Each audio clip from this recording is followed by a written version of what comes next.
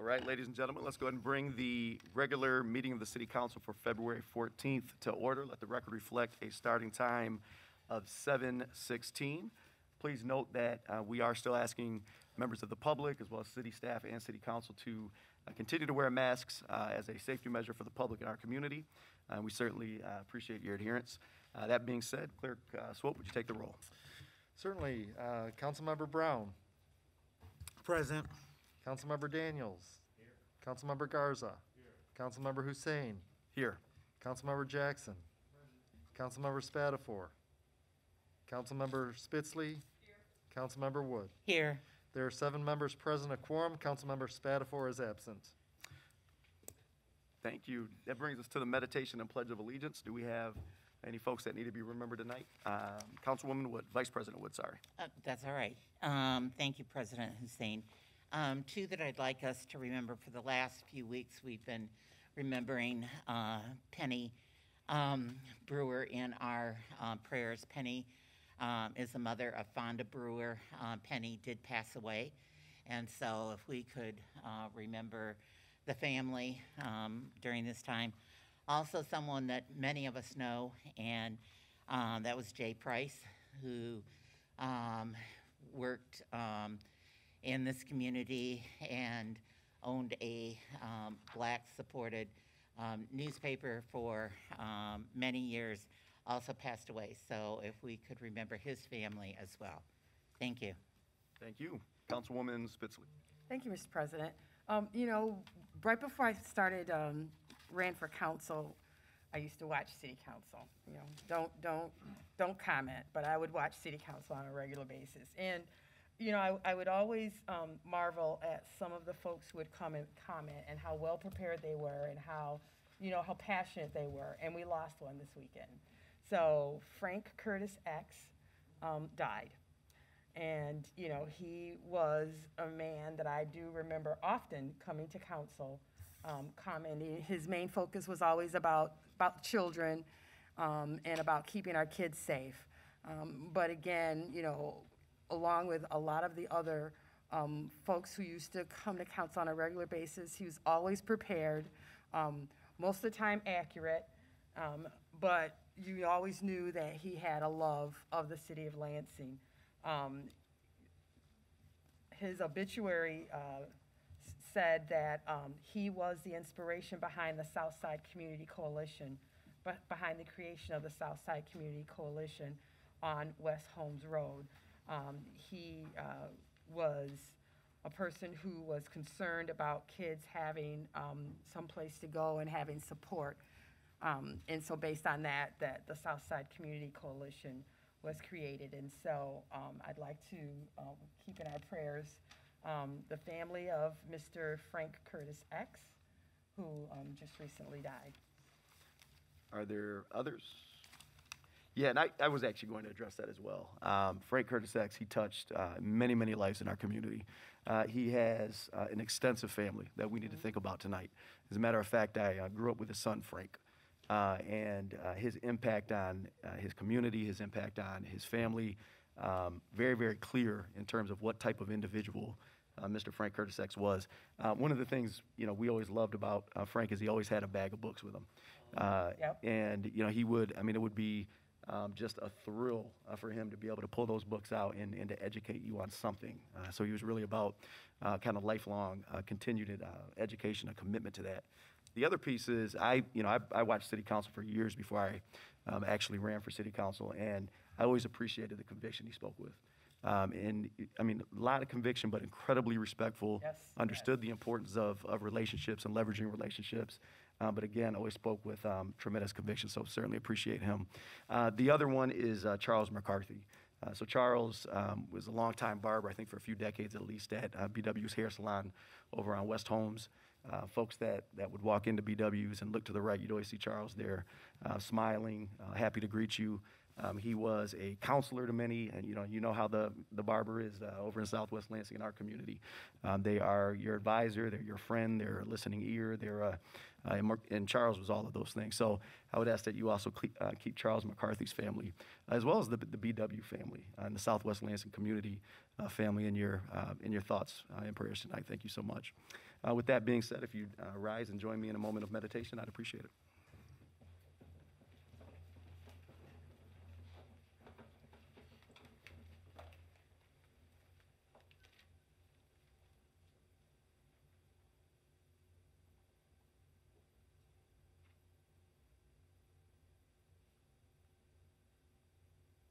Thank you.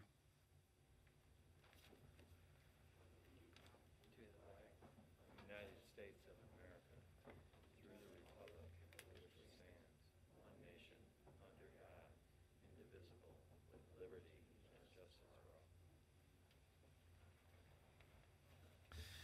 You have for your approval the council proceedings of January 10th, 24th, and February 1st. Vice President Wood. Uh, Thank you, President Hussain. I would move the minutes from January 10th, January 24th, and February 1st. All right, there is a motion on the floor. Is there further discussion? Hearing and seeing none. All those in favor signify by saying aye. Aye. All those opposed, same sign. Motion carries. Okay, we are to comments by council members and the city clerk. Vice President Wood. Uh, We have um, a motion for a late item. Um, So at this time, I would move to suspend Rule uh, 9 for the consideration of a late item. And this is setting a public hearing, um, which we will take up later this evening as part of the rezoning for 5411 Wise Road. And thanks for always being sharp, because we both missed that. Um, So there is a motion on the floor. Uh, Further discussion? Hearing and seeing none. All those in favor signify by saying aye. Aye. All those opposed, same sign. Motion carries. Now we're, now we are, sorry, to uh, council comments. Vice President Wood? Th- That was. Oh, that was it. Okay, I thought you had something else. Nobody else? All right. Um, Clerk Swope? I don't believe I have any announcements, uh, so we can proceed to community event announcements. If there's anyone in the audience with a community event, you can please uh, give, you, we'll give you one minute to tell us the details of your event.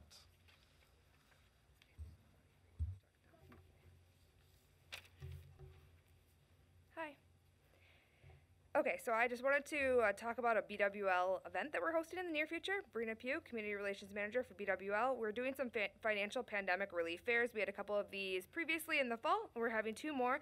We're partnering with a dozen community organizations for this.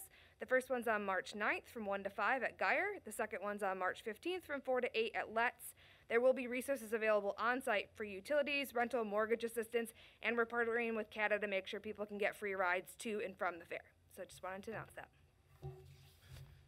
Thank you. Any other community event announcements? All right, then we'll go ahead and move on to speaker registration for public comment on legislative matters.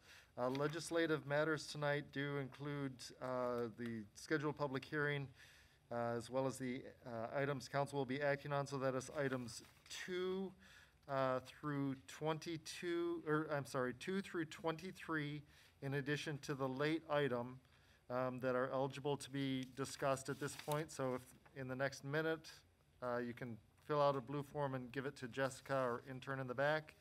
Um, I, I do understand we will be not, the council will not be acting on item 21, but it is still eligible for public comment. So uh, if you need to sign up, uh, please do so in the next minute.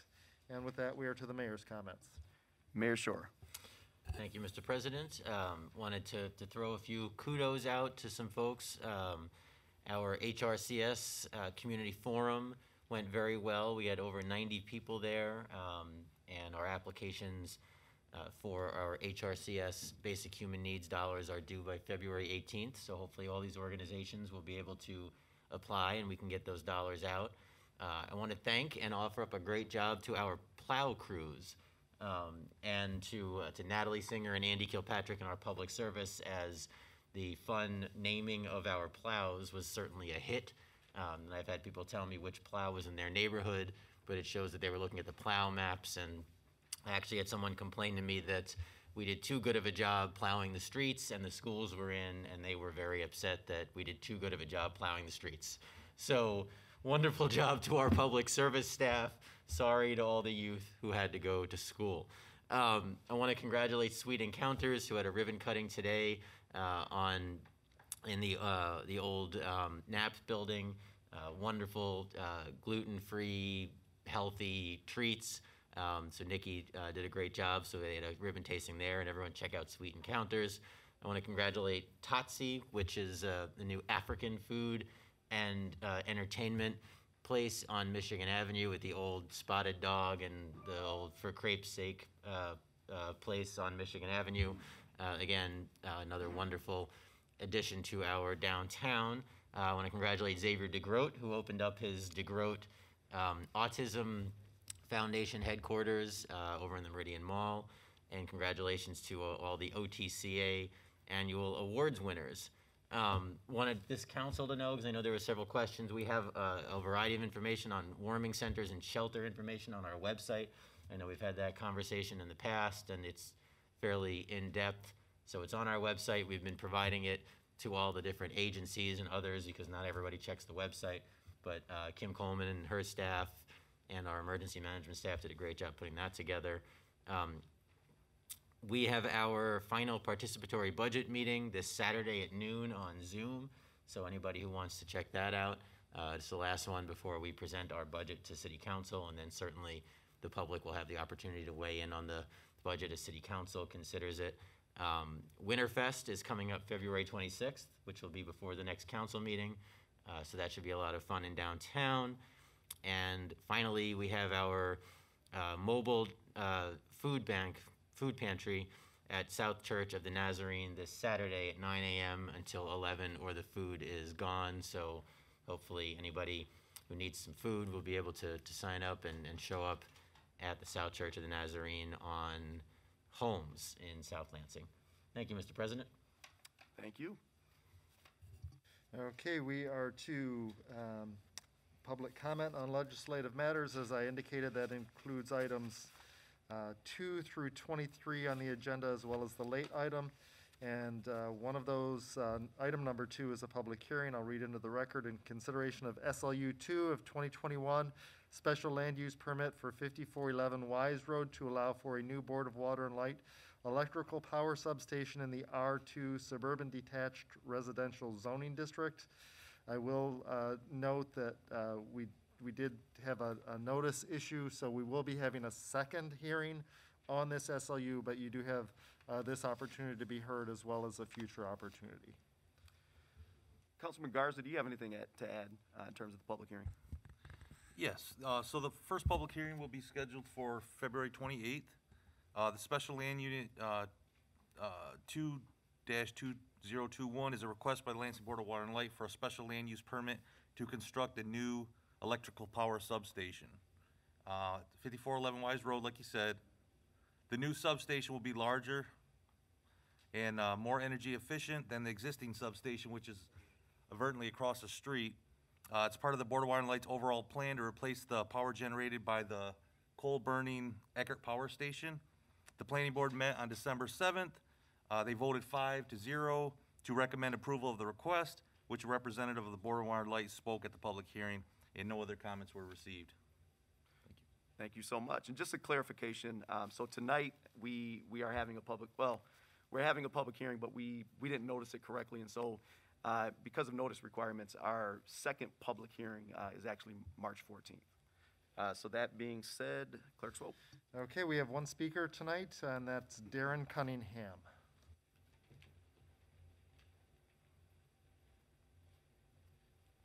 Good evening. Darren Cunningham from Board of Water and Light. Um, This electrical substation um, is going, like he said, is going to replace our existing one, part of our Leonard- uh, Lansing Energy Tomorrow efforts to uh, supply green, reliable energy to the community. Um, The construction on this is roughly going to start towards the end of this year in 2022, um, and construction going all the way through to 2024. Um, Once the construction of the new substation is completed, that's when we would tear down the existing substation. Um, The parcel um, is currently located on BWL um, property. Um, One of the attributes to this also, there is some uh, infrastructure drainage on uh, Pleasant Grove. And through working with some of the city and some of our design, we're hoping to uh, take care of some of the infrastructure drainage on Pleasant Grove also with this project.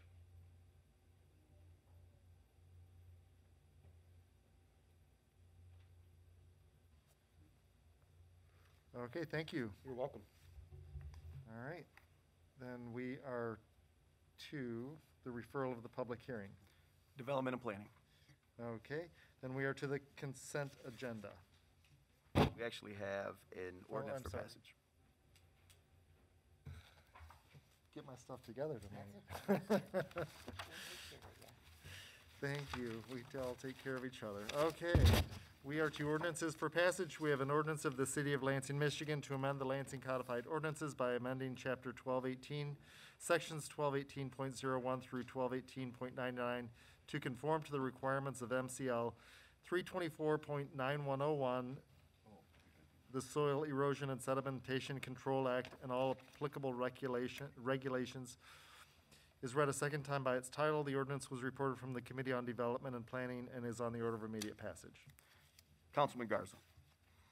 Well, I think Chris Swope just uh, sum- summarized it up. Basically, this is to conform with the requirements of the state of Michigan. And, and with that, I would move for an immediate effect. Nope, so we'll, Oh, yep, sorry. we'll vote on it first, and then should it pass, we can move for immediate effect. Perfect. All right, is there, there's a motion on the floor. Further uh, discussion? Seeing and hearing none. Uh, Clerk Swope. Okay, on adoption of the ordinance, Councilmember Brown. Yay.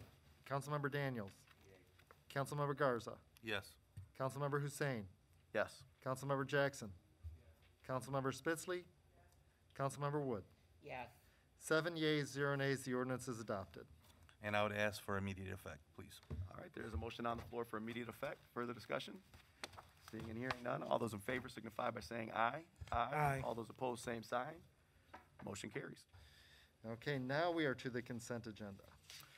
Okay, so very quickly before I turn the floor over, uh, we have uh, a number of appointments. Uh, It's not every day that we are working to essentially populate an entirely new board. Uh, And so, um, council leadership, uh, as well as um, our office manager and- and Mr. Swope, had some conversations about how to best navigate this. Um, And instead of um, actually going through each uh, appointment respectively, um, you know, bringing them down, swearing them in, uh, we thought it would make more sense to actually have them on the consent, understanding that, um, you know, there, there was a, a very thorough vetting process of each applicant as part of our committee process. And as somebody that sat in on, I believe, all of these uh, appointments, I can tell you that our colleagues did a fantastic job. Um, Unearthing anything that needed to be unearthed, I can also tell you that we have an incredible slate uh, of candidates that we're actually appointing to, to uh, different boards and uh, commissions through the city of Lansing uh, today. Um, So that being said, once we move the consent, what we'll do is we'll actually invite everybody down, um, and we will swear in everybody that is here together. Um, And so that's going to be a- just a a really fun moment. So that being said, I'm going to turn the floor over to uh, Vice President Wood. Uh, Thank you, President Hussain. Um, At this point, I would move the consent agenda and ask that the clerk read the appointments into the record. Okay, we have for the Arts and Culture Commission, uh, Alice Brinkman as the fourth ward member, Mary Tashash as an at-large member, Kevin Bonds as the second ward member, Morgan Butts as an at-large member, Cece Bordeo as the third ward member, um, uh, Diane Garden as an at-large member, and Shirley Carter Powell as an at-large member. Um, And then for the um, Economic Development Corporation, Tax Increment Finance and Brownfield Redevelopment uh, Authority, we have Jordan Sutton. And for the Human Relations and Community Services Advisory Board, Charla Burnett.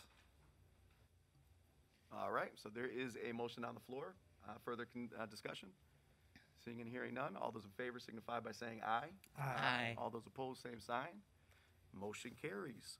So if you are, do we, do we have names of folks that are actually here? Um, I think so, but Okay. uh, why don't we do the Arts and Culture Commission Yeah. first, and then we'll do the other ones individually. if All right, that's so if you are here for the Arts and Cultures uh, Commission, which is uh, Alice Brinkman, Mary Toshash, Kevin Bonds, Morgan Butts, Cece Bordeo, Diane Garden, and Shirley Carter Powell, come on down.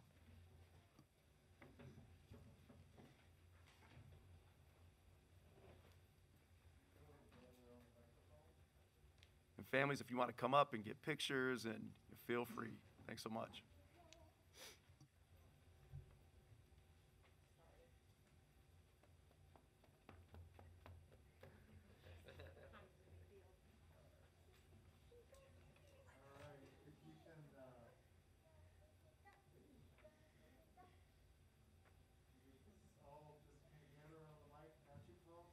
You can go down there.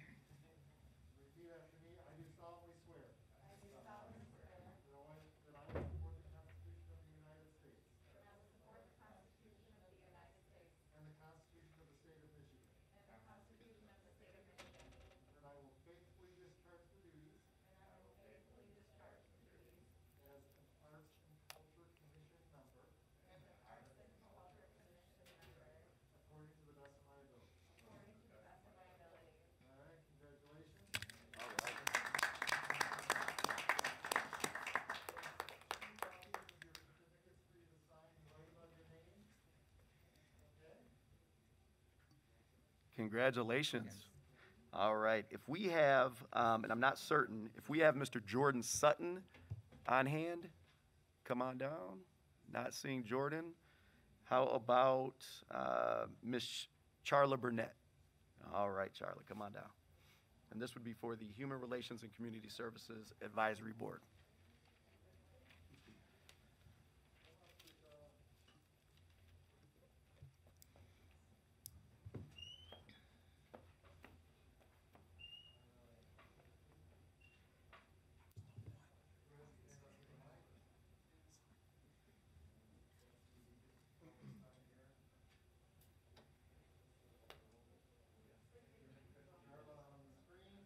All right, there we go.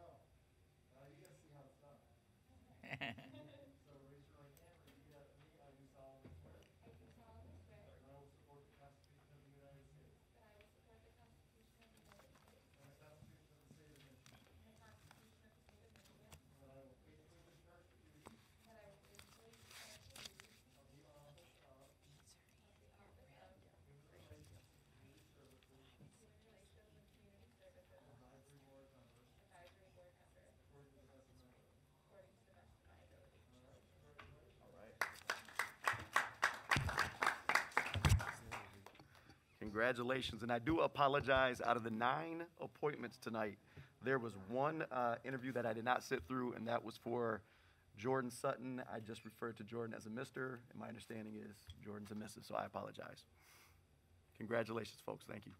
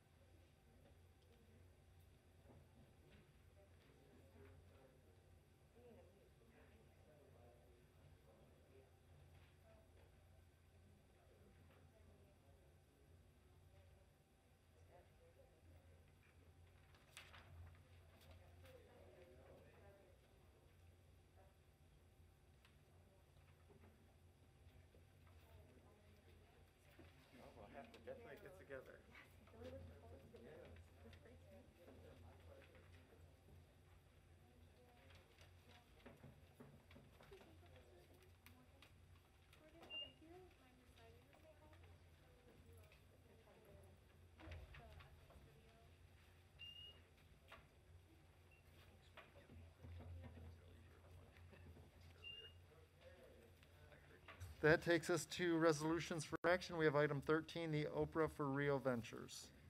Thank you so much. Uh, Councilman Garza. Thank you, Council President. So what we have before us is a resolution to establish an obsolete property rehabilitation act district. Uh, so they're creating a district at eleven oh two South Washington Avenue, Lansing.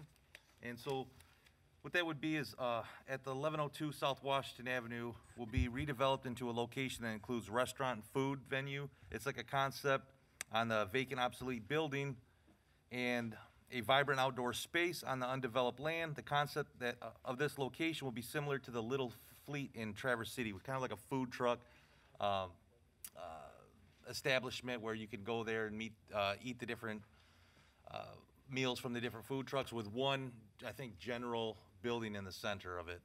And I may be butchering this a little bit, but I think it's a, it sounds like a pretty good, uh, utilization of the property and potential to grow as well. So with that, I would move the resolution. There is a motion on the floor. Is there further discussion? I think the only thing I would add is that we did have a public uh, hearing January 10th. Um, All feedback has been generally positive, um, and that what we're doing is only creating the district. And so in terms of the actual certificate, I do think they have, um, have indicated that they're going to ask for the, the full 12 years in terms of the, the property tax freeze, but uh, any request for a certificate would have to come back before this body. Uh, That being said, again, there is a motion on the floor. All those in favor signify by saying aye. Aye. All those opposed, same sign. Motion carries. Okay, item 14, amended council committee assignments. Sure, so um, this is, again, um, Passing the a gavel. little unusual. Oh, I'm so sorry. There you go. Vice President Wood. President Hussain. Thank you so much. Um, little bit, you know, obviously out of the ordinary. We had obviously the, the resignation of Mr. Brandon Betz back on January 7th. Uh, that precipitated a process um, to actually fill that position. Welcome, Mr. Daniels. Um, and, and let me tell you, folks, um, at home, uh, Mr. Daniels was appointed on February 1st, sworn in on February 1st, um, and I can attest to the fact that he has been incredibly busy uh, and working incredibly hard to learn the position, to grow relationships, um, and, and he's just already been a tremendous asset, so we certainly appreciate him. In any event, what we had to do in the interim uh, is we had to maneuver some, some council members onto um, some committees on a temporary basis. So we were always going to be back at this place adjusting those committees um, once we actually had uh, the successor to Mr. Betz. Uh, so pursuant to Rule 16 of the Lansing City Council rules, we do have to um, actually read these into the record. Uh, And so what we're going to do with regard to committees, um, there will be two committees that will see changes. Uh, The first will be committee, the Committee on Public Safety. Uh, Councilmember Wood will uh, continue on as the chairperson. Uh, Councilmember Daniels will be uh, invited on as the vice chairperson, and Councilmember Brown will serve as the member at large. And then in terms of the Committee on City Operations, Councilmember Spitzley will continue to be the chairperson. Councilmember Daniels will come on as the vice chairperson, and then myself, uh, Councilmember Hussain, uh, will continue on as a member. And essentially what we did was just uh, kind of plugged Brian into the vacancies that were left by uh, Mr. Betz. Uh, And then, in addition, the following 2022 Councilmember Board and Commission assignments will be updated as uh, follows. The Capital Area Michigan Works Administration Board will now include council members Daniels, or Daniel, Daniel, sorry, Brown and myself. And Tri-County on Aging Consortium Board will include council members Spitzley and Daniels. So with that being said, I would move the resolution. We have a motion on the resolution. Are there any questions or concerns? Seeing none, all those in favor say aye. Aye. Opposed? Passes unanimously. I pass the gavel back. Okay, and we have item um, 15, the OPRA District for uh, 1247 Center Street LLC at 224 South Washington. All right, Councilman Garza. Thank you, Council President. So this is another, uh, setting, uh, creating an OPRA district at two-two-four South Washington Square, Lansing, Michigan. Uh, the applicant intends to use a rehabilitated facility as follows. The facility will become one of the most popular, according to them, and storied music and performance venues in the Midwest. It looks like this, uh, this, um, developer has been in business or, for what, thirty-plus years, I believe. And, uh, it will be considered the top destination for live music in Michigan while earning accolades of local musicians, industry-leading and nationally touring artists. Performances will include all genre- genres of music, as well as other entertainment events. These will include pop, rock, hip-hop, country, bluegrass, folk, Latin, jazz, comedy, and more. So they did, uh, what do we have, a public hearing on January 10th, I believe? And uh, with that, I would move the resolution. All right, there is a motion on the floor. Is there further discussion? Uh, Again, the only thing I would add is that this is crea- the creation of the district. Uh, And so any request for a certificate would have to come back before this body. Uh, That being said, all those in favor signify by saying aye. Aye. All those opposed, same sign. Motion carries. And we're to item uh, 16, a claim appeal for uh, 1032 Clear Street. Councilwoman Spitzley. Thank you, Mr. um, President. So this is a claim appeal for um, $409 in trash violation fees at 1032 Clear Street. Um, In our um, Government Ops um, Committee, Mr. Todd Dowrick, and I don't think he's here, um, came forward. Um, The issue was that there was trash, as you can see here, in the recycle bin. There were particularly plastic window shades and some other things that were not, that are on the list of banned items for recyclables. Um, They were provided notice. Um, Mr. Dowrick's staff person, who had the same name, I'm assuming it was a relative, claims that they came and they picked up the trash that was around the um, recyclable bin, but there was still the plastic um, uh, window shades in there, and they also claimed that um, the um, tenant put more trash in the recycle bin. Um, we explained to him the policy was that, um, you know, if, if our folks came on and they saw violations, that they were going to um, act on that and remove it and charge, um, notwithstanding whether or not his, his uh, tenant had added more, that it was really his responsibility to educate the tenant. Um, but that, you know, no matter what, those plastic uh, window shades were not approved recyclable material. Um, So we um, upheld the, um, the decision um, of the claims appeal. Yeah, I'm sorry, I'm, I'm, I'm a little, I lost it for a minute there. We, up- we upheld the decision of, of, of, of the claims, the CRC, the claims appeal folks, um, for four hundred and ninety dollars in trash violation fees for ten thirty-two Clear Street, and with that, I would move the resolution. All right, there's a motion on the floor. Uh, Are there questions or comments? The only thing I would add is that, um, you know, as, as with so many, uh, this particular applicant um, owns dozens of rentals in the city of Lansing. Um, This particular property has been owned since 1996, I think dating back to maybe 2015. There's been some 26 enforcement actions on this one property, uh, including DMVs, uh, trash, grass, safety, the list goes on and on.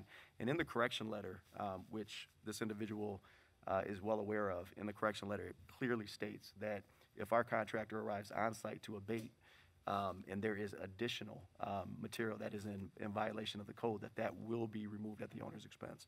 Um, And so that certainly factored into our decision-making. And I, and I'm just gonna add that, you know, it, it, he is a repeat offender.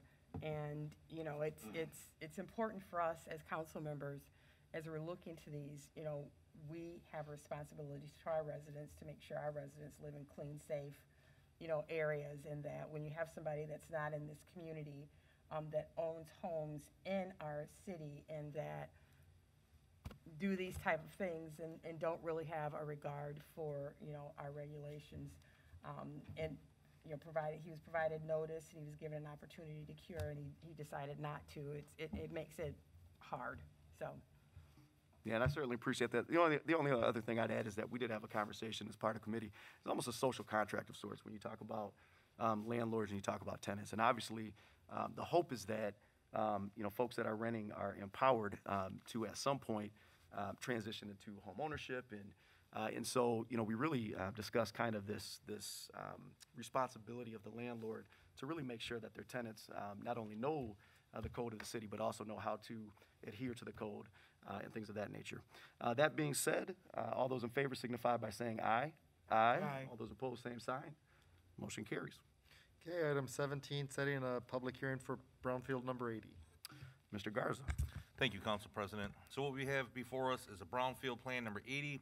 It's a 30-year brownfield plan. Uh, There's quite a bit of asbestos to be remediated from the property. It's a, excuse me, it's a mixed-use development.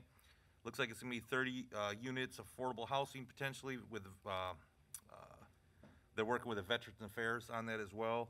It's a 14 million capital investment project by Ferguson Development. We do have the developer here. However, there's going to be a public hearing set for February 28th. Uh, This is part of the SALT Action Plan from 2016, updated in 2021. All taxes been paid on this property uh, by, from Land Bank.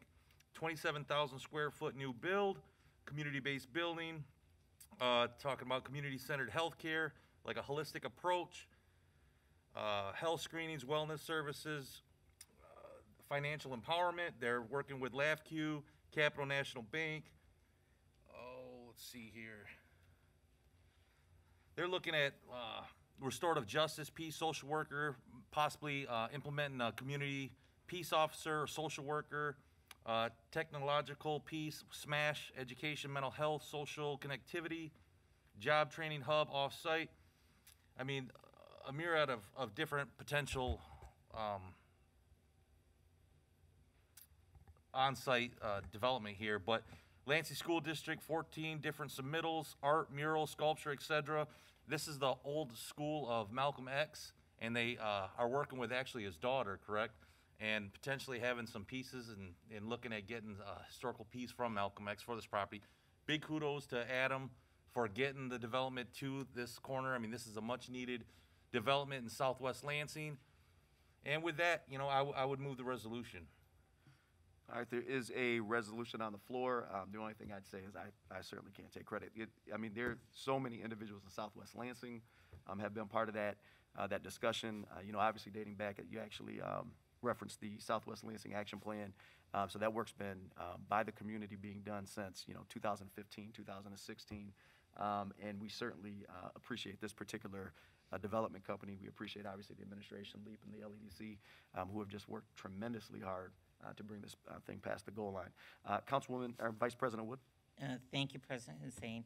Um, I just wanted to, to add, I appreciate the fact that when the developer um, for this project was challenged, the Ferguson Development Company, into doing something on the south end, they stood up. They said absolutely and have been working to try to make this thing a reality. So as we go through this process, you know, I think, um, ag- again, when we think of the administration, we think of LEAP, we think of uh, President Hussain, the, the different ones, the SWAG, all the groups that worked on this. Um, If the developer had not stood up to this, um, we wouldn't have the other ones to thank as well. And so um, I do want to, to make sure that as we're moving forward in this process, that we do understand that, you know, uh, all my time on council, we've had different developers that have come forward and made promises, different developers that we have asked, let's do something in the south end. And this is the only one that has stepped up and said, yes, I will do this. So thank you. Yeah, and the, you know, everything about the project, uh, I mean, there's complexity to it. Uh, and, and I said this, I've said this a number of times now. Um, I was concerned, you know, obviously as we, um, kind of meandered our way through uh, a pandemic that only exacerbated, uh, every challenge, uh, of a project like this at a site like that.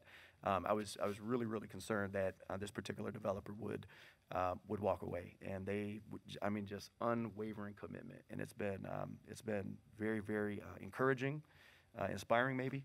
Uh, and so we certainly uh, appreciate this, this group of people. Uh, Councilwoman Spitzley. Thank you, Mr. President. Um, I, you know, it's, I, I always, I, I always think that the word transformative is, is used a little bit too much, but I truly believe that this is going to be transformative for that corner. I walk down there from my house to my mom's house, and I pass that place every day, and, you know, wondering what could be done. And the vision that you guys, that is, that is put forth for this, um, will really transform that, that, um, that area, not just for that site, but you've got, you know, a corner, a grocery store to, right diagonally, and I was talking to him, and he's all excited about how that will impact his business and the businesses around, and so this is exactly what, you know, the brownfield legislation is for, is, is to look at areas in our city and, and transform them into the veterans housing, the, the education, the financial aspect for, for an area that, that is sorely needs it. And so I, I'm, I'm totally excited. You know, I'll probably be walking by there every day, peering in the windows, looking as it, as it goes up, because this is gonna be great. All right. And just before we take a vote, just to remind folks, we will have a comprehensive presentation uh, on the 28th. We certainly appreciate uh, Mr. Sikowski as well as uh, Mr. Helzer and Mr. Klein for being here just in case uh, there were questions that needed to be asked. I'm sorry, uh, to be answered tonight. And then that being said, you know, the only other thing I'd add really quickly, Councilwoman Spitzley, is it's not even just that intersection. When you look at lifeblood corridors, you look at South MLK, you look at Waverly, you look at, um, those are really, really difficult to move forward. Um, and so one of the things um, that you do is you look at those critical nodes um, that, that are behind or, or next to or, and you work to reactivate those. Um, and then, uh, you know, investment begets more investment. And, and what I just love about this project is this really is about helping people ascend. Uh, and so when we talk about community-based project, this is just dynamite.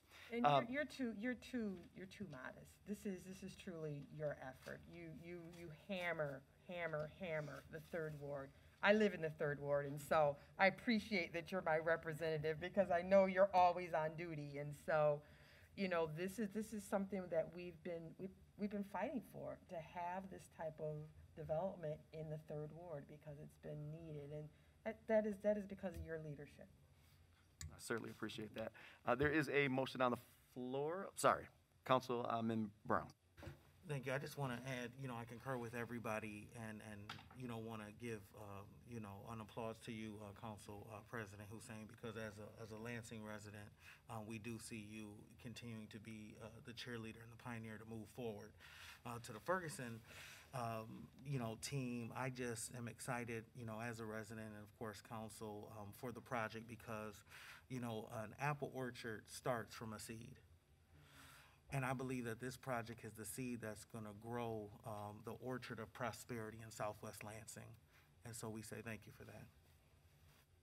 And I appreciate that. I appreciate the, the, the term cheerleader because that's, I mean, truly that's what I am. Right? I sit in these rooms with these really, really capable community leaders and developers, and, and I always feel like, and, and that's why I know I'm in the right room. I always feel like I'm the least intelligent person in the room, um, and I'm just there to cheer and, and uh, you know make sure that you know the, the ball continues to move down the field. So thank you so much again. Uh, that being said, uh, all those in favor signify by saying aye. Aye. Aye. All those opposed, same sign. Motion carries. Okay, we have item um, 18, uh, setting a public hearing for Act 1 of 2022. That would be Councilman Garza, yep. I had you down for some reason. Thank you, Council President. Okay, so what we have before us is, uh, setting a public hearing in consideration of Act One, 2022, real estate purchase agreement with Griffin Group LLC at ten twenty West Hillsdale Street. That is the former home of, was it the, oh, the Un, the Union Baptist Church, which was, uh, which was demolished back in two thousand and seven. Uh, this property was part of the seven-block neighborhood plan in nineteen ninety-three. Uh, the property was acquired by the city u- utilizing CDBG funding in July of 1999, but was never redeveloped. The property's proposed uh, redevelopment for new residential units does meet the intent of, of, and goals of the seven-block neighborhood plan. And this is gonna be a 40, potentially a 40U low, 40-unit low housing, uh, low housing complex. Uh, Thirty-five percent will be, which will be fourteen of these, those units will be for special need vouchers. And they will also be requesting six more additional vouchers, uh, for, uh, people with disabilities. Sounds like it's a time-sensitive pilot. They will not be requesting a pilot from the city. Looks like they'll be requesting one from the state of Michigan. Um, the property was appraised at one ninety-five. The Griffin Group, uh, submitted the only development proposal, which, uh, they purchased it for two hundred thousand. Uh, the public, uh, they met with the, uh, the planning board met on February first, twenty twenty-two, and voted unanimously 6-0 to recommend approval of Act 1, 2022. And as of this point, we are moving to set a public hearing for February twenty-eighth, and with that, I would move the resolution. Thank you so much. Councilwoman Spitzley. Thank you, Mr. President. I just wanted to add one quick thing is they are, they are asking for a ten percent pilot. Correct. That does not have to come before council. It's a ten percent by right. So they are asking for a pilot, but it's a ten percent pilot, and just wanted to clear that up. Thank you for the clarification. Uh, There is a motion on the floor for the discussion. Seeing none, all those in favor signify- signify by saying aye. Aye. All those opposed, same sign. Motion carries. And item 19, setting a show cause hearing for 2131 Pleasant View. Vice President Wood. Uh, Thank you, President Hussain. Uh, What we have before us is the property at 2131 Pleasant View. This property uh, went, um, was red tagged in um, December 3rd, 2019. Um, It went before the uh, demolition board, and the recommendation was moved on to council on uh, 10, uh, it went before the demolition board on 10/28/21, uh, came to us on 12/28, um, 2021.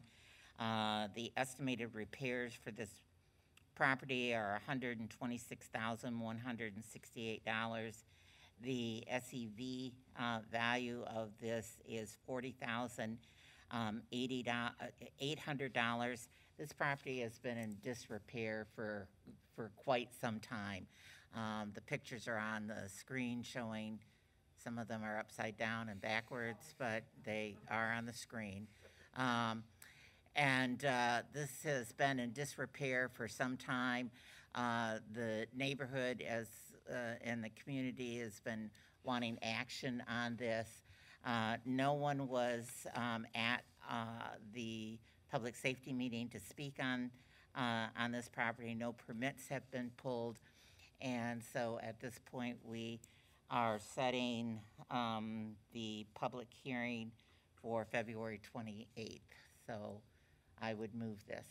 All right, there is a motion on the floor. for the discussion? All right, all those in favor signify by saying aye. Aye. All those opposed, same, same sign. Motion carries. Okay, and item 20, setting a public hearing uh, for Glenburn Commons assessment.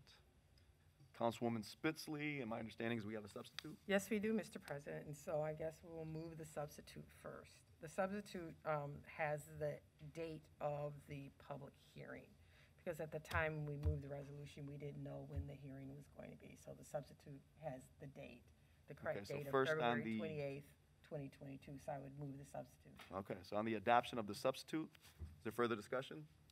All those in favor signify by saying aye. Aye. All those opposed, same sign. Motion carries.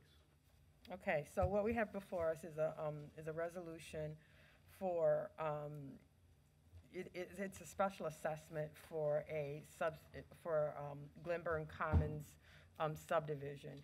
And this is a longstanding issue on the Glenburn Commons, um, they have a common park, um, in that area, and as part of their, um, deed to the homes in that area, they are re- you know, the, part of the deed is that they have to maintain, um, that park area. And so, um, the city of Lansing, um, has been providing those services. And, um, every year we come up with, um, looks like a, a, cost. And so the cost for the, um, November, from March thirty-first, twenty twenty-one to November thirty-first, twenty twenty-one is twenty-one thousand eight hundred and seven dollars, which roughly, um, adds up to about forty-seven dollars per home. And so, um, we have to set a special, set a public hearing in consideration of this special assessment, um, to those homes. And with that, I would move the resolution that establishes a public hearing for Monday, February twenty-eighth, twenty twenty-two. All right, there is a motion on the floor. Vice President Wood. Just to add a little context for the council members that are new, um, this property was part of a condo association, and the condo association went defunct. They came to council asking us to make this into a green space or a park area and uh, take, maintain it. Uh, With working with the city attorney's office, uh, what we ended up um, coming up with was uh, a mechanism that would allow a cleanup of the property because people were using it for junk and things like that, along with the fact it wasn't being mowed and taken care of. And so the mechanism was having code compliance go in there and clean it up, and they did uh, a couple of very expensive cleanups in there, and then to maintain it was to mow it on a regular um, basis. And so that was divided among all the property owners, whether you abutted the property or not, but were part of that condo association. So that this cost does not come back on the taxpayers of the city of Lansing, but is actually paid by the people within the condo association. We appreciate that. Further questions or comments? Yeah, and I will say, is- I think it's been an incredibly successful collaboration uh, between that particular neighborhood uh, as well as the city of Lansing. It was, if, if anybody had uh, seen it before, it was cleaned out and mowed, and it was an absolute health and safety concern. Um, And so it's, it's, again, tr- tremendously well done over the last few years, um, certainly moving that area forward. And again, I don't think we've received a complaint with regards to that particular property, at least in the last three or four years, so it's been great. Uh, That being said, uh, all those in favor signify by saying aye. Aye. All those opposed, same sign. Motion carries. Okay, we have item t- 22, opposition to off-road vehicles ordinance from Eaton County. Vice President Wood. Thank you, uh, President Hussain. Um, As many of the council members know here in the public, we have received a number of complaints uh, about off-road um, vehicles within the city of Lansing. We've had many discussions here at the dais with this. We've asked for help from the city attorney's office. Uh, The mayor has uh, weighed in, the chief of police has, have, has weighed in. Um, and as we uh, have tried to deal with this within the city of Lansing, uh, we became aware that the Eaton County Board of Commissioners are looking at um, proposing an ordinance that would allow um, ORVs within the Eaton County um, jurisdiction.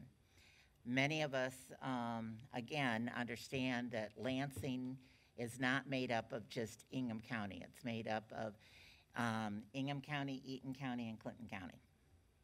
So when a uh, neighboring jurisdiction makes a determination that will affect the residents of the city of Lansing, oftentimes we will look at that and to determine whether, how best this represents us.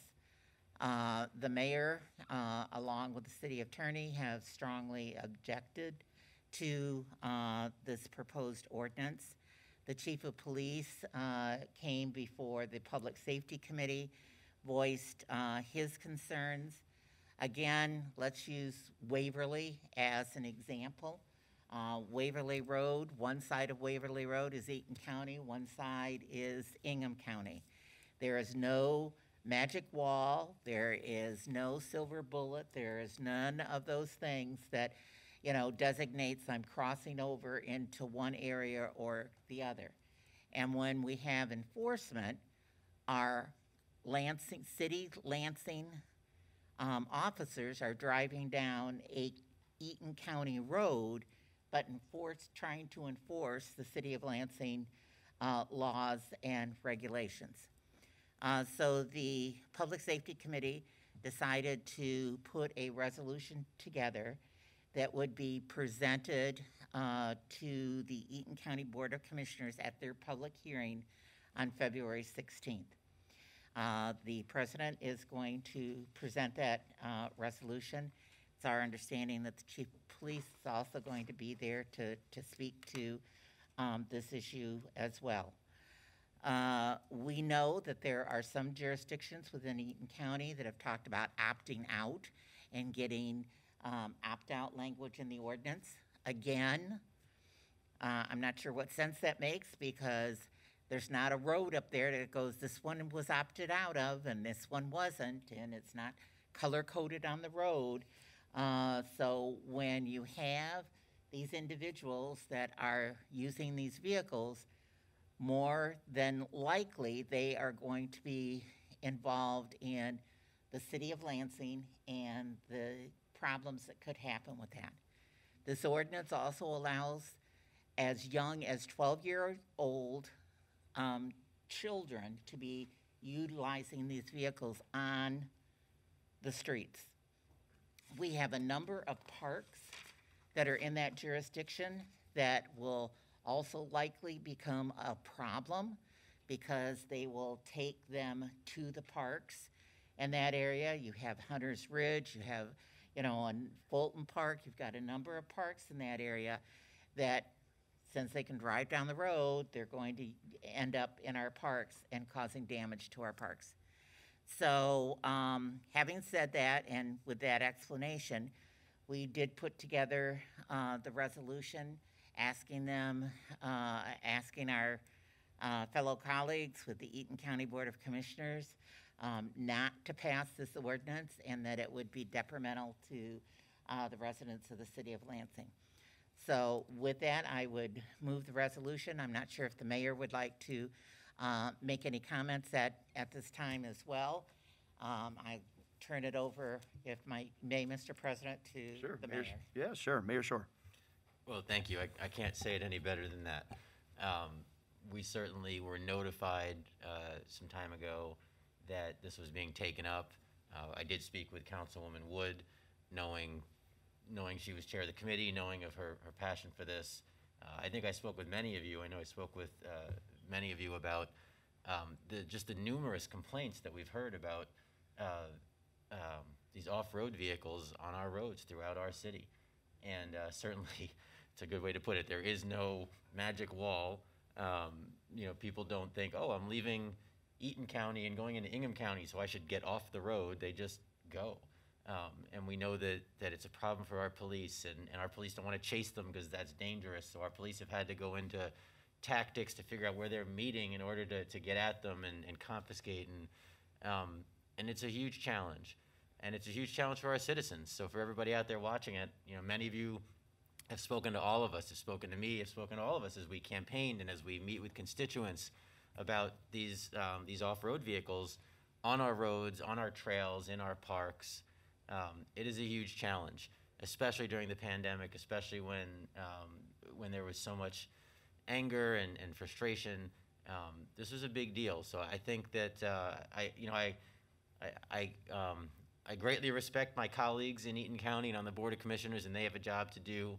But uh, this is, I think, very bad timing, um, and it just it sends the wrong signal. So I have expressed my opposition. I greatly appreciate this resolution coming to council and council expressing their will. I think I know how the vote's going to go. I'm hopeful, um, but uh, it's just it's just not good for for the citizens of Lansing. That's who we he are here representing, and and uh, I do appreciate the hard work that was done on this by the by the council and the council committee, and and we stand together on this like we do so many other things. Thank you. All right, thank you. Uh, Councilman Jackson. Thank you. I just have a question and then possibly a comment or two. And it goes to the city attorney first for the question on what is the, I guess, ramifications if Eaton County passed their ordinance on our city of Lansing spot in southwest Lansing? Could a person drive their off-road vehicle on Sheffield? Or could they still not based on our laws?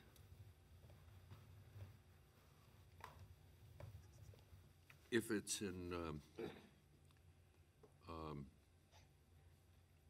Sheffield is in, in Lansing? Oh. So if it's in Eaton County, um, uh, they, so they could drive in an Eaton County, uh, right, I mean, we couldn't, inf- I mean, they could legitimately do that on that road, yes. Okay. Now, Um, we have an ordinance too, but if they cross over into Lansing, then as the mayor indicated, the police would have to get involved, but that causes dangerous situations. I understand that, but I guess, just to be clear, you're saying their ordinance would somehow be stronger than our ordinance that says you can't. Theirs that says you can would override ours that says you cannot. They would have authority under their ordinance, but they would be violating our ordinance in Lansing, which causes a problem for the police. Right, and I Trying know, to decide what's, which one is applicable and where are, you know, where's the boundary line and crossing over, that type of thing. sure, It's a but I functional mean, Problem. I guess you could inform our officers that this part of Lansing is still off limits. I mean, you could, and they could just take a mental note or whatever. It's um, probably a policing problem. And I just want to make sure that, I guess, what, how that interplayed. And then just my quick comment, so it's still illegal to drive recklessly on any street, including with an off-road vehicle. Um, I understand our problems in our city.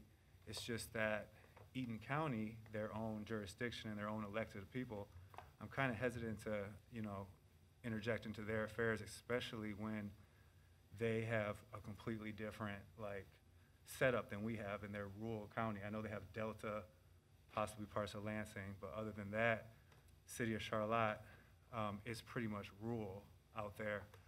And also, I think that ordinance that they're introducing says you can only drive on these smaller, I don't know the classification of the roads, but they, they have a map that says you can't drive on these big ones.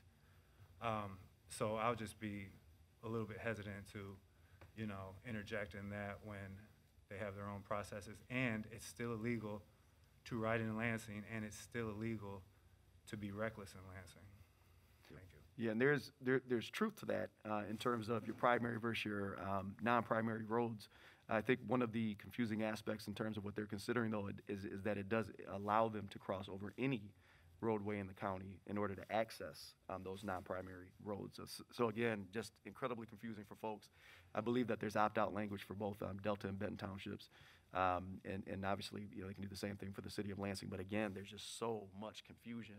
Um, and I think, you know, Vice President uh, Wood spoke very eloquently about um, just adding to that uh, for citizens in the city of Lansing. Uh, Vice President Wood. Um, as, as we stated just a few minutes ago, and even Councilmember, um, uh, Jackson brought it up, you know, um, we do have Lansing residents that can speak to, um, Eaton County representatives because they vote for them. So, um, I would encourage our Lansing residents to call, uh, area code five one seven, five four three, 2488 to express your concerns or send an email to countyclerk at eatoncounty.org. Again, I think the whole issue becomes that you end up um, using our police resources to try to determine where they are, whether they've crossed over, whether this is a violation, whether it isn't a violation, going to court, trying, you know, whether they're getting a ticket or not. And um, I, I believe, and, and I think that as um, a resident of Lansing, and the fact that this affects Lansing, that this is poor legislation that will have a detrimental effect on our community. And that's why I encourage our council members to pass this. Councilwoman Spitzley. Thank you, Mr. President. Um, So I, I appreciate um, what Councilmember Jackson says about um, laws on the books regarding reckless driving. I will share that my cousin lives on Sheffield, and that's, you know, across Waverly, and um, it's a problem. Um, And for me, because I live right off Waverly, I get that traffic sometimes. I mean, I, I get off-road, I had snowmobiles going down my street, down, you know, during the snowstorm, and I, I get, uh, I get, um, four-wheelers often, and I, and I just, you know, it's, it's, again, it's, it is difficult, I think, for police to figure out where the jurisdiction is. Um, Waverly Road is just kind of that weird area, um, but it is a problem over in that, that subdivision area over by Sheffield and where the park is. Yeah, and I think it's important that, that we do reference the people that live there, um, so that folks know, as the ward representative, I did attend the Lansing Eaton Neighborhood Organization's January meeting, um, brought this issue to them. Um, I've been very, you know, frank about, you know, I take my marching orders for the people, for, from the people I represent. And so what I did was just, um, essentially, uh, introduced what it was that they were looking at, um, and asked, you know, obviously them of their opinions. Uh, and they certainly, uh, I think to the last person, uh, in terms of that meeting, to the last person, they were against it.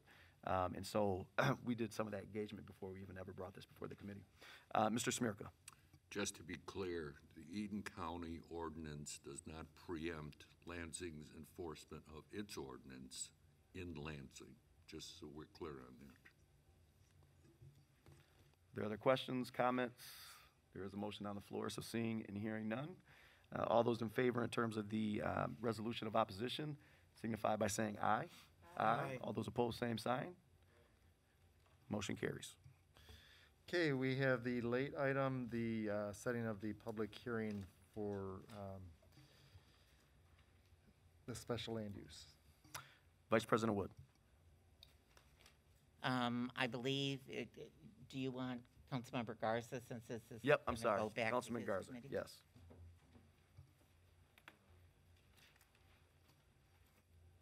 You got it? Okay, perfect.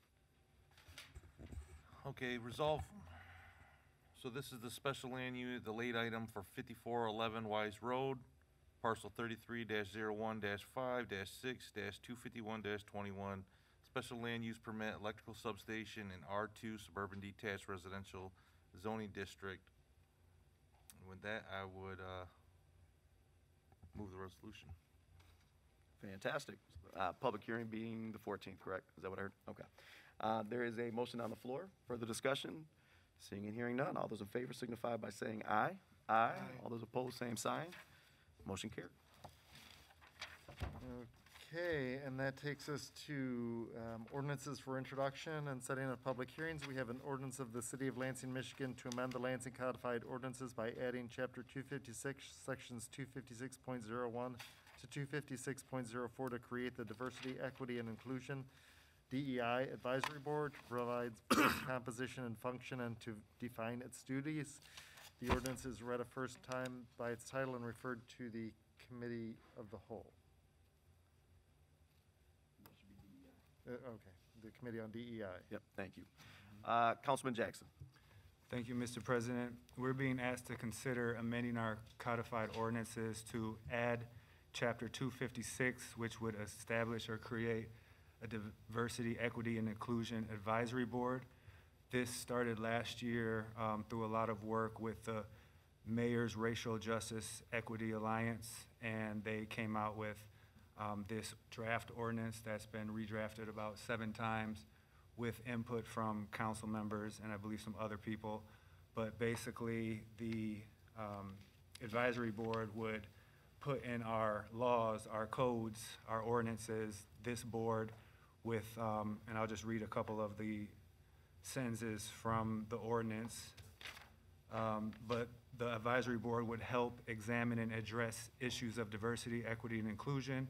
It would operationalize, implement, and maintain the racial justice and equity plan for diversity, equity, inclusion. It would serve as a direct liaison between the greater community and City Hall, amplify the voices and address the needs of the people. And it would work with the city's diversity, equity, inclusion officer. So this is basically the recommendation, part of the outcome from the mayor's alliance, and I think it's supposed to be the next step to um, make framework and a sustainable yearly, annual um, advisory board to do the work in diversity, equity, inclusion. We, as council, we still have our committee. Um, I'm sure they'll probably work together, but we um, received this from the mayor's office, and introduced today, and we would set it for, I would move to set it for a public hearing on February 28th.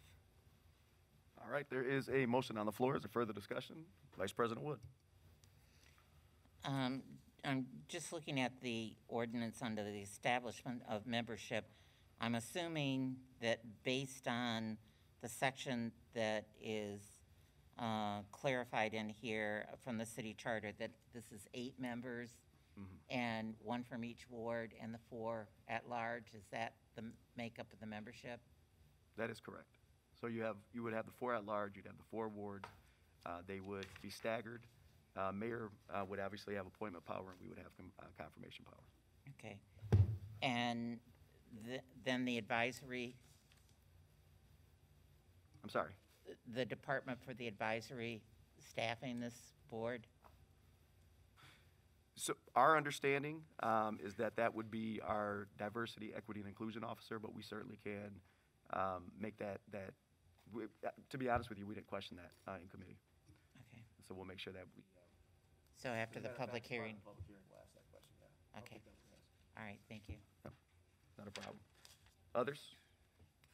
All right, the only, I, I guess I did have one question. So, um, you might recall back in 2018, we had this conversation as part of our committee, uh, Mayor Schor.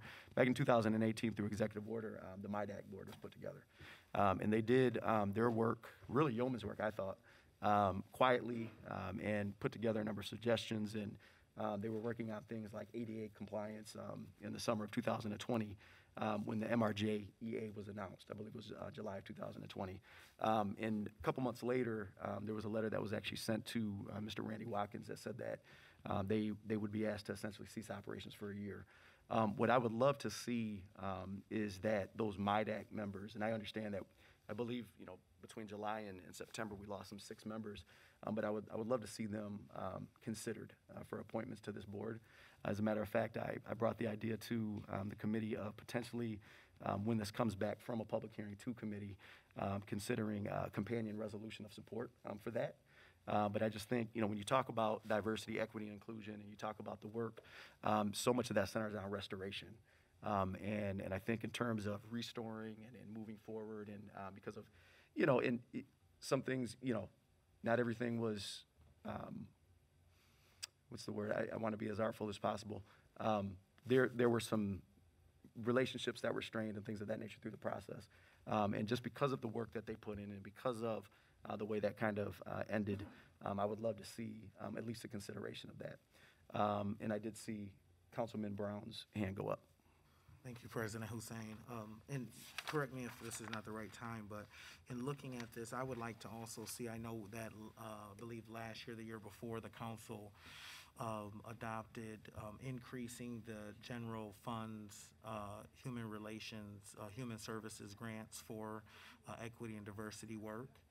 And I don't see that this um, advisory board would have anything to do with the, um, the, the applications maybe for that work, um, similar to how, uh, HRCS looks over and, and scores, uh, applications for that work and helps decide what service providers or community providers are delivering that service in our community. So if we have an advisory board, uh, that we're creating, um, you know, it would be, I, I believe, advantageous to also include their voices and, you know, their, their work into the decisions or the applications of people, uh, groups that are applying, um, to be community partners in Lansing to actually effectively implement, uh, that work. I appreciate that. Are there others? Councilman Garza. I, I just have one question. So this is to establish the, I'm sorry, uh, Vice President Wood. So this is to establish the committee, correct? We're- What we're looking I'm to do today is to set the public hearing. Set the public Yes. hearing, and then after that would be establishing the commission. Now, who, who's responsible of appointing the members of the commission? Is it the mayor? Sure. I, and then it's confirmed by council. So I guess I would just like to get a, a recommendation to you, Mayor, if that, if we, if you're looking at appointing these members, that we look at every different ethnic group out there as well as the LGBTQ. So it is a true diversity panel, or commission that we're, we're doing. So that not one marginalized group gets, uh, overshadowed by another. Thank you. Uh, Vice President Wood and then Mayor Schor. Um, I'd also like to make sure that we are looking at the disability, um, community as well as part of this, um, when, when we're going through this. And I realize, again, this is just setting the public hearing, it's gonna go back to, uh, uh, Councilmember, um, Jackson's, uh, committee, but he's taking notes on some of our comments here that, um, as, as it comes back out again, that maybe some of these issues, uh, can be, uh, clarified, um, at that time, um, with that. So, um, I yield the floor to the mayor. Mayor Schor. Thank you, Mr. President. Thank you all for your comments. Um, Certainly, this is a board that, um, that would be appointed by me and approved by you. I would, we sent a, a version over to council, I think as the chairman said, it's gone through a variety of different versions. Councilman Betz had some changes, I think some others some changes. Um, Certainly, I am not wedded to the, to the eight members, you know, four at large, four per ward. If you want to set specific slots, if you want to put someone in for the LGBT community, if you want to put someone in for the uh, disability community, I'm open to that. Uh, I'm open to all of those things. Right now, the only thing that's specified in the, in the, um, the board that we sent is four at large and four, um, one per ward. If you want to increase the number, we did, I think, twelve for the arts, uh, the arts board. Eight is standard, but if council members have interest in increasing and, and slotting specific spots, I'm all about it. Um, so I certainly welcome your thoughts and comments. The one, uh, amendment I have, Councilman, uh, Council President, is uh, Randy Watkins and I sent that letter out together with the MIDAC members, and the intention was to combine the two into one and discuss all those issues, which was more or less done, but we also knew that we were going to push for a, a formal city board rather than two different mayoral advisory boards. We wanted a formal city board. But again, if, if folks are interested, whether it comes through the committee or this council process in um, specifically slotted spots, again, I, I don't know if you have to check with legal on that and see, um, you know, if people are going, if we're gonna slot an LGBTQ spot, does someone have to declare? And I don't, I'd probably have some concerns about that, but I'm open to that as long as we do our due diligence and homework on, um, on how to slot, you know, the appropriately diverse, uh, and inclusion spots. Um, But that's certainly my interest is to see a variety of opinions and thoughts, um, on that board, just as it was for MIDAC when we first started. MIDAC had complete turnover within two years, just because we had a variety of folks who, um, who, uh, for a variety of reasons. But uh, I'm certainly open to whatever conversations you want to have in terms of, of spots on the board. And we appreciate that. A couple things. Number one, uh, what was in your committee packet, I'm sorry, council packet, uh, was actually draft seven. Uh, In terms of committee, what we did was we actually passed uh, for the introduction and setting up a public hearing, uh, draft 11. Um, And so what we did is, uh, we had those printed up real quick. Um, Those are in front of you, uh, so feel free to um, take a look. Uh, That being said, Mr. Smiertka and then Vice President Wood. Just following up on the mayor's comment, the charter does allow an ordinance to establish a bigger board. Uh, So I think the arts was 12 or something along those lines. Yep, it was 12. Thank you so much. Uh, Vice President Wood. There, there is the potential of having ex officios that are from the various um, different groups that would be advisors to the board. So there's a couple ways that, that you could potentially look at this. If I, Mr. President, if I can have one, and, I- and I agree with, I agree and I, I support that, and I know, you know, in some cases, we have some boards that don't have Lansing residents, um, and you can't have a voting member, but in ex officio, you could, if there was an expert that may not be a Lansing resident, we see that in other boards. Yes. I, I'm fully supportive of, again, whatever, whatever we have to make sure that this is an effective, uh, board for our city. Um, so if you all just keep me in the loop on where you're going with this, Mark, um, is certainly, uh, my person that, that can kind of wade through all that, but, um, I, I look forward to the, to the, the, um, recommendations of council. Appreciate the, the very good conversation. Fantastic. Uh, Councilman Brown. Uh, Yeah, I, I agree with um, uh, Councilman Garza and, and Council, oh, can you guys hear me? Council- Councilman Garza as well as uh, Councilwoman Wood. Um, And, you know, just to throw, throw some input in there, and maybe not necessarily um, draft groups, but in other organizations that I've served in, it's really about what's the population and the diversity um, from the data in Lansing. So for example, if two percent are African Americans, maybe two percent, you know, represent or whatever, uh, the color of makeup, and then, you know, people can self-identify that they're a part of that group. And I also um, have found that many times we leave out our, um, our international group as well, um, in a lot of the dialogue, uh, too. So, thank you. Thank you. Uh, Councilman Jackson. Just one point, I know we'll probably talk about it in committee, but um, just to be kind of wary of quote-unquote slots, because I know a lot of people would rather have a person whose ideas are more conducive to helping a marginalized group than just a representative from the marginalized group who might not necessarily associate or act in those people's best interests. So although representation matters, it still also matters to have the right mindset behind that person as well. All right, are there further comments, questions? Seeing and hearing none, uh, this would be again setting uh, public hearing for February 28th. 28th. All those in favor signify uh, by saying aye. Aye. All those opposed, same sign. Motion, Okay, we are to uh, speaker registration for public comment on city government-related matters. Um, So that is um, any, the yellow form in the back, uh, and you can talk about anything related to the operation or governance of the city for up to three minutes. We'll be uh, closing that sign-up period off in about one minute. And in the meantime, we're to reports of city officers, boards, and commissions. Vice President Wood. Thank you, President Hussain. I would move at this time that all items be considered as being read in full and that the proper referrals be made by you, Mr. President. Thank you so much. There is a motion on the floor. Further discussion? Seeing and hearing none. All those in favor signify by saying aye. Aye. All those opposed, same sign. Motion carries. We have items from the city clerk, minutes of boards and commissions. Place on file. Uh, liquor license for uh, Lansing Hotel Investors at 11 111 North Grand Avenue. City Operations. A liquor license for RBM Properties at 224 South Washington Square. City Operations. Uh, Fiscal year 2021, 2022 vacancy report. Uh, Committee of the Whole. Items from the mayor, setting a hearing and uh, the action for uh, an ordinance to provide requirements for owners of firearms to report the theft thereof and provide penalties, penalties for failure to to make a report. Public Safety.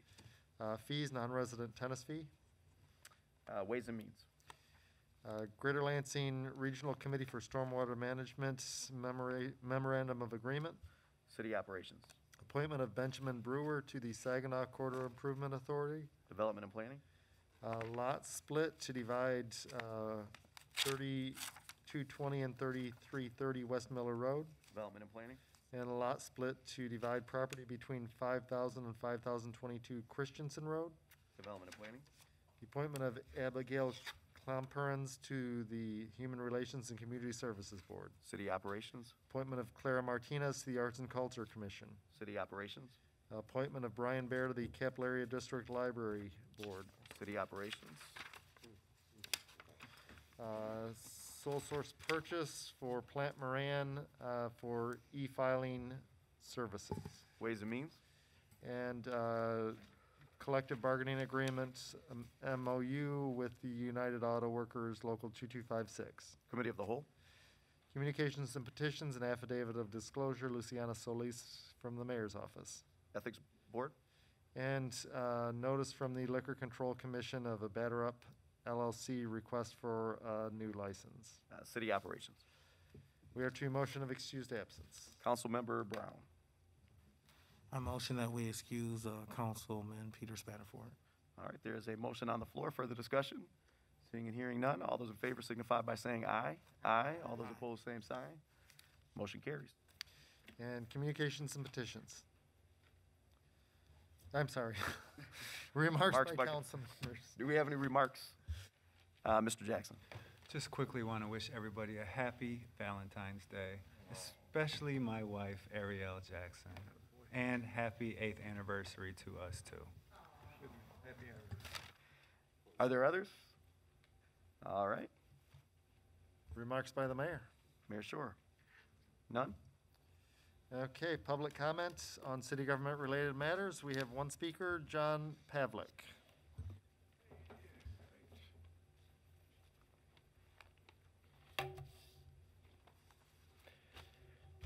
Good evening, and thank you for the opportunity to speak to you this evening. And congratulations to the new council members and those who have been reelected. My name is John Pavlik, a lifelong Lansing resident growing up on South Hayford Street. Our house backed up to diversified South Foster Park, and I attended Allen Street School, Pattengill Junior High, and I'm a graduate of Eastern High School. I also attended LCC in the early 1970s and served six years in the Army National Guard, the Chief of Staff Division at the South Washington Armory here in Lansing. My resume is Lansing. This past July, I celebrated 50 years in my business at the electronic outlet Car Audio retail store on South Pennsylvania and Jolly. We have never experienced the type of targeted crime that we have seen take place in the past year. A shootout in our parking lot, an agitated customer bent on causing destruction, and loss of customer property from parking lot break ins that have been, having, been uh, happening frequently. It's troubling the limited response time when the police are summoned to this type of crime. I'm not here to criticize the Lansing Police Department. I've always been supportive of our law enforcement professionals. In talking with our police officers, they are 20 to 25 percent understaffed. Overextended, the morale is at an all time low. Our police department patrol units have been reduced 30 to 40 percent compared to the 1970 through the 1990s. And how is that working for us? The stats indicates it's not. As business owners, what can we do to fix this? When reaching out to other businesses in our South Lansing area, they're experiencing the same type of crimes.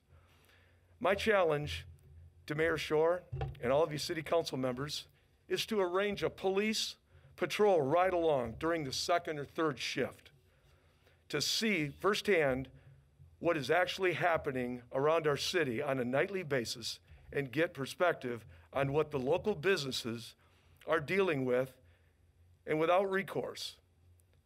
And the criminals know it. The police officers put their lives on the line every day to protect and serve the people of our great city of Lansing. They cannot respond to us when we need them unless we respond to them and meet their needs. I've talked with several of the dealership owners in South Lansing. It's a major problem with smash and dash. One dealership, one night, hit seven cars. I mean, this thing is just getting crazy. And, and the police are so extended, they just can't, they just can't get there. Uh, I think it's time to do something. We've never seen this. Thank you. All right. With no other uh, business before the body, we are adjourned at 8:41.